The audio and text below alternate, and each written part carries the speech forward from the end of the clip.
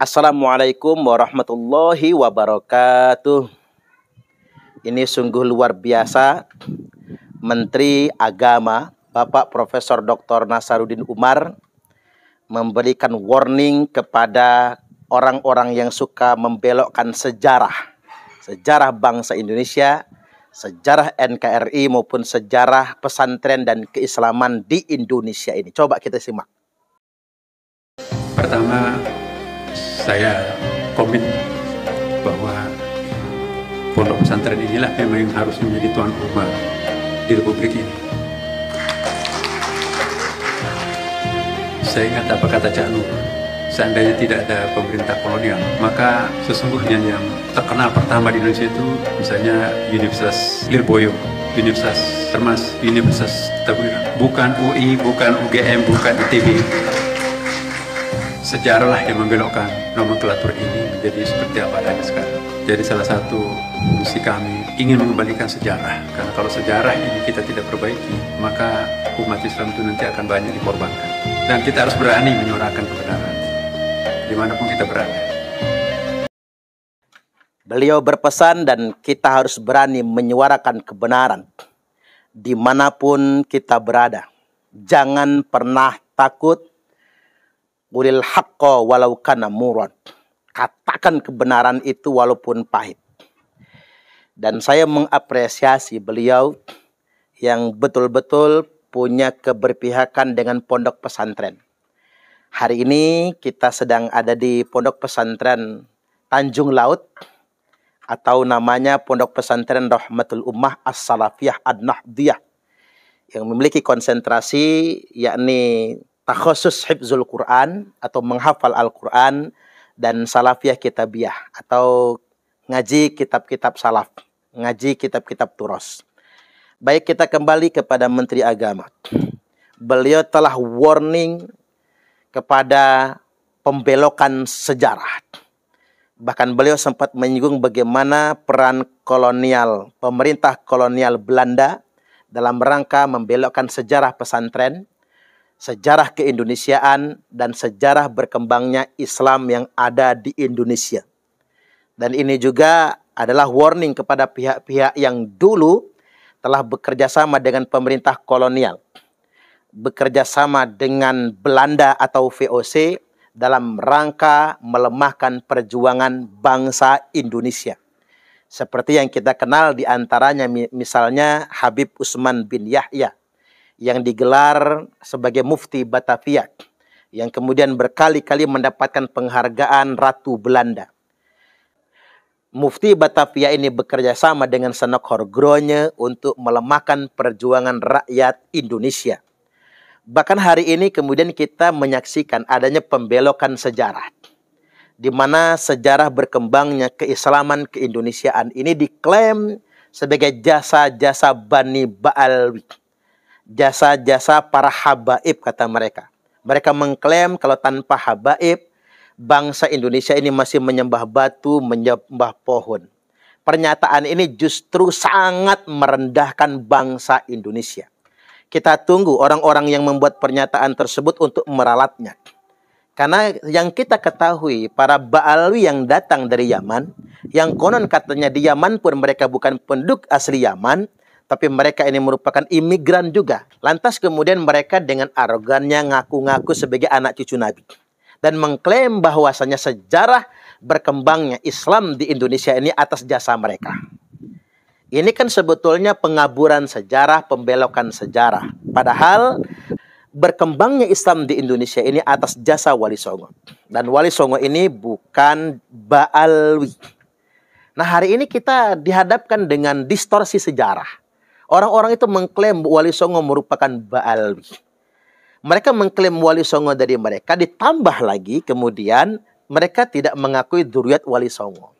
Ini pasti ada kepentingan. Saya jadi ingat dengan yang disebutkan dalam buku Secret of Freemasonry, bahwasanya untuk menguasai suatu bangsa, strateginya ada tiga. Yang pertama, kaburkan sejarah mereka. Yang kedua, hancurkan semua situs-situs sejarah mereka. Dan yang ketiga, belokkan sejarah mereka. Nah ini ada upaya yang sifatnya terstruktur dan masif untuk membelokkan sejarah Wali Songo. bahkan untuk membelokkan sejarah bangsa Indonesia. Buktinya sejarah kita dikaburkan, sejarah kita dibelokkan, situs-situs sejarah kemudian dihancurkan, lantas kemudian dimunculkan situs-situs baru berupa makam-makam palsu. Ada 3000 makam-makam palsu di Indonesia ini yang pada akhirnya muaranya untuk membangun klaim tentang Baalwi yang sangat berjasa untuk bangsa Indonesia. Saya yakin betul Pak Menteri Agama Profesor Dr. Kiai Haji Nasaruddin Umar sedang kasih warning ke sana. Orang yang telah membuat situs-situs palsu, makam-makam palsu, pembelokan sejarah, sejarah bangsa Indonesia diklaim, pahlawan-pahlawan kita juga diklaim. Ini merupakan warning kepada Baalwi. Nah, mengapa kemudian orang melakukan pembelokan sejarah dan pengaburan sejarah? Ya, tiada lain, tiada bukan sebetulnya. Kepentingannya dalam jangka panjang ingin menguasai bangsa Indonesia maka ini menjadi sebuah syarat mutlak, keharusan dan keniscayaan bagi bangsa Indonesia rakyat Nusantara bangkit bersuara. Jangan biarkan klaim-klaim sepihak ini. Jangan biarkan pembelokan sejarah ini. Mari kita bergerak dari akar rumput menyuarakan agar pemerintah mendengar suara kita semua agar tidak terjadi lagi pembelokan sejarah.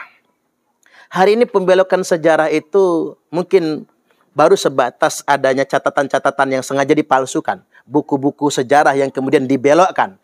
Tapi untuk 10, 20, dan 30 tahun yang akan datang, maka semua generasi kita, anak cucu kita akan dikorbankan. Saya ambil studi kasus saja. Misalnya tentang pondok pesantren Sidogiri.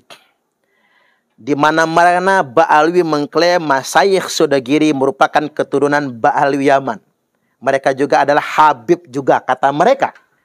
Bahkan kita lacak di beberapa buku memang sudah disklaim dari Yaman, dari Bali maksud saya. Kemudian yang berikutnya kita lihat catatan di Google misalnya kata kalau kita searching di Google, saya Sulaiman, Mas Sudagiri itu atau Sayyid Sulaiman itu sudah dibaalwikan. Kita bisa periksa di Google misalnya mereka kasih nama Sayyid Sulaiman bin Abdurrahman Basaiban. Jadi pendiri atau Mas Sudagiri sudah mereka baalwikan dan kemudian mereka kasih marga Basaiban. Bahkan masai-masai yang lainnya banyak ada yang di Al Idruskan, ada yang di Bin Yahya kan dan lain sebagainya. Padahal faktanya, sekali lagi faktanya, di catatan di Google mereka yang bikin, di Wikipedia mereka bikin, saya Sulaiman ini bin Abdurrahman Basaiban. Tapi fakta dan kenyataannya, saya Sulaiman bukan bin Abdurrahman Basaiban. Aslinya Said Sulaiman bin Zain Abdul Qadir Al-Hasani. Jadi jauh set betul. Jadi sekali lagi Sayyid Sulaiman pendiri pesantren Sudogiri bukan bin Abdurrahman Basaiban dan bukan Ba'alwi. Nama asli beliau adalah Sayyid Sulaiman bin Sayyid Zain Abdul Qadir Al-Hasani. Sayyid Sulaiman bin Sayyid Zain Abdul Qadir Al-Hasani merupakan keturunan dari Tuan Syekh Abdul Qadir Al-Jilani Al-Hasani. Betul merupakan zuriat Nabi. Silsilah nasabnya dari pihak bapak memang nyambung kepada Imam Hasan. Dari pihak ibunya nyambung kepada Imam Hussein. Tapi yang perlu ditegaskan pada kesempatan kali ini, beliau bukan Ba'alwi. Tapi beliau adalah Al-Hasani, duriat Nabi dari Imam Hasan radhiyallahu an. Nah ini penting. Bahkan Sidogiri sudah mendapatkan isbat, isbat internasional, isbat dari Maroko sebagai keturunan dari Syekh Abdul Qadir Al-Jailani. Tidak sebagaimana Ba'alwi yang telah mengklaimnya. Nah ini tadi kasus dari pembelokan sejarah pesantren Sidogiri dapat kita ambil pelajaran untuk kita semua betapa mereka gampang sekali membelokkan sejarah, gampang sekali memanipulasi sejarah bahkan mereka berani berdusta atas nama Nabi sallallahu alaihi wasallam. Termasuk sejarah pesantren tertua, yakni pesantren Al-Kahfi yang didirikan oleh Sayyid Abdul Kahfi Somlangu. Sayyid Abdul Kahfi Somlangu mendirikan pesantren tertua se-Asia Tenggara. Jadi kalau ingin tahu pesantren tertua di Indonesia bahkan di Asia Tenggara adalah Pondok Pesantren Al-Kahfi Somlangu, Kebumen. Dan beliau juga merupakan keturunan Syekh Abdul Qadir Al-Jilani. Bukan Ba'alwi. Saatnya kita sebuah bangkit. Mari semua duriat wali songo. Mari kita semua bangkit untuk menyuarakan, meluruskan kembali sejarah kita yang telah diklaim orang lain.